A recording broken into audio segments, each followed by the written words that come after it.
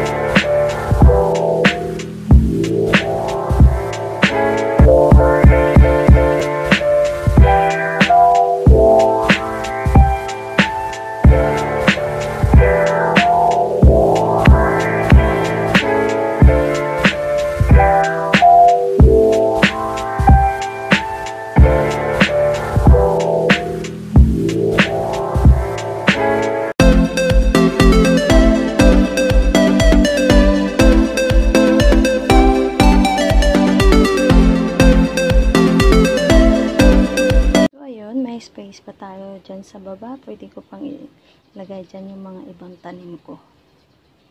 So, see? Yung mga used na kahoy lang yung ginawa kong patungan. Gumawa ko ng this one, yung paa niya. Tapos, yun na. Mga plywood dun. Dito kasi hindi ko na nilagyan ng paa. Kasi, ano naman siya, may bakal naman siya. Ipinatong ko na lang sa bakal tapos tinalian.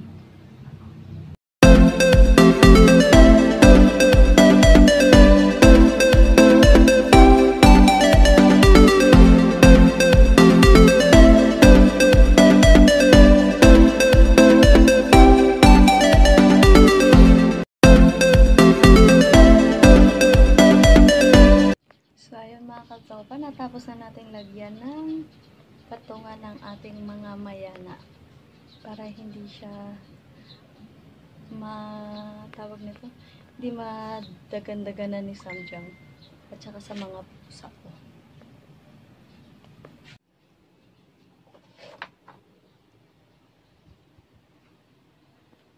So, naripat ko na yung iba kanina. Nilipat ko lang siya ng paso. Kaya hindi naman yan mamamatay kahit ilalagay dyan kasi niripat ko lang. Hindi ko naman itinanim ng walang ugat.